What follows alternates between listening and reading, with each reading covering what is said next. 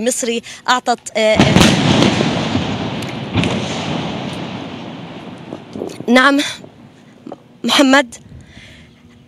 إذا الطائرات الحربية الإسرائيلية قصفت برج الجلاء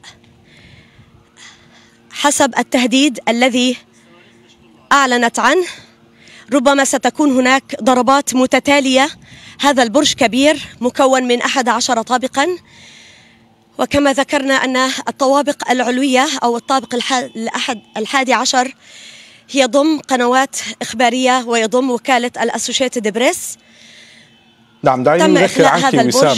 التقط يا قبل نحو ساعة يعني بناء على تهديدات من الجيش الإسرائيلي. دعيني أذكر بأن الجيش الإسرائيلي كان قد أعطى مهلة ساعة واحدة لحارس هذا البرج المؤلف من شقق سكنية وفي طابقه العلوي مكاتب بعض المؤسسات الإعلامية مثل قناة الجزيرة والأسوشيتد بريس من أجل إخلاء هذا البرج قبل استهدافه بصاروخين من طائرة طائرة استطلاع.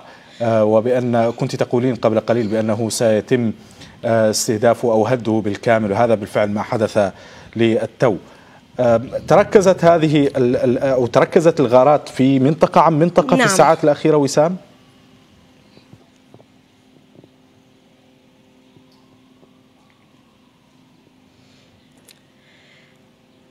الآن الآن الغارات موجودة في كل قطاع غزة. آه، بالأمس كانت الغارات قد تركزت في مناطق الجنوبية من القطاع رفح وخان يونس وأيضا أيضا المحافظة الوسطى مثل البريج والنصيرات ودير البلح.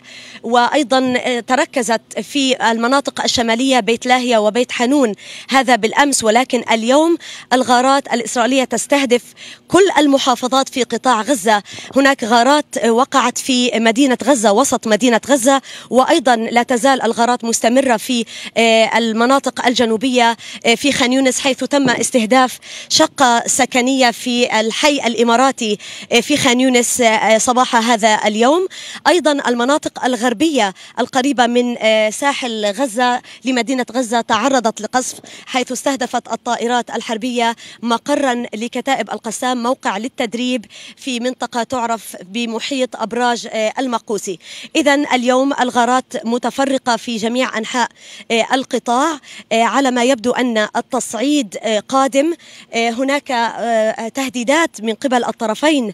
حركة حماس عبر كتائب القسام تقول بأنها لن تسكت عن قصف المدنيين أو استهداف المباني السكنية وبالفعل كانت قد أطلقت عشرات الصواريخ باتجاه ما نراه الآن في, وها هي إسرائيل تقصف المبنى هذا. البرج. نعم هذا المبنى الذي عليه الآن هذه الهوائيات أو هذا نعم. الهواء الكبير هو برج الجلاء نعم. أم, أم, أم مبنى خلفه من حيث نرى الدخان نعم نعم وهذا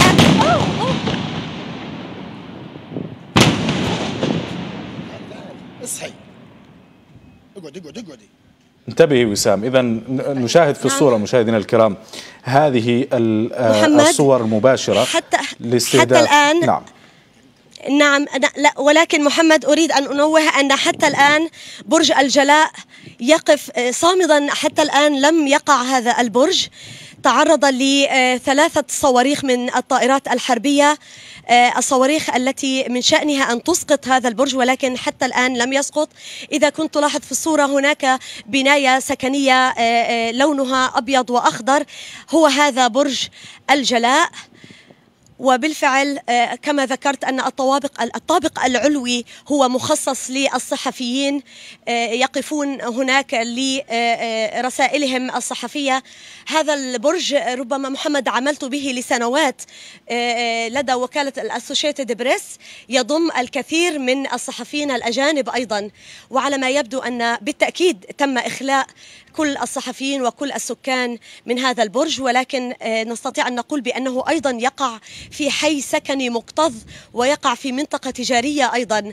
آه، الأضرار ستكون بالغة جدا إذا سقط هذا البرج. عادة كم تعطى مهلة؟ يعني ذكرت آه، مقارنة بأن مهلة آه، الإخلاء أعطيت ساعة لهذا البرج وهي مهلة ضيقة في العادة كم تكون المهلة مهلة الإخلاء المطلوبة؟